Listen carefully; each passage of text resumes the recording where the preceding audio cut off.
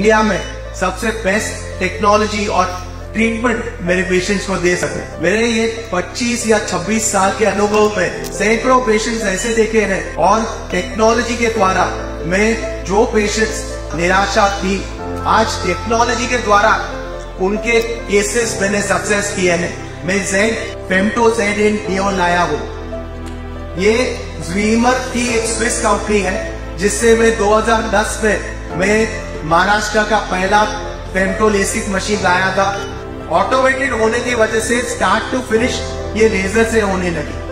उससे कारण लेजर का जो प्रिसीशन है। वो ह्यूमन बॉडी के प्रिसीशन से बहुत परे है। मुझे खाली टॉप करना होता है। टारगेट नक्की करना होता है। जैसे ही मैंने लॉक किया 30 सेकेंड के अंदर ये लेजर पूरा ऑपरेशन खत्म कर देता है। और प्रिसीशन से करता है। एक्यूरेसी से। तो उससे रिज़ल्ट मिलता है विजन का वो बहुत बेहतरीन रहता है।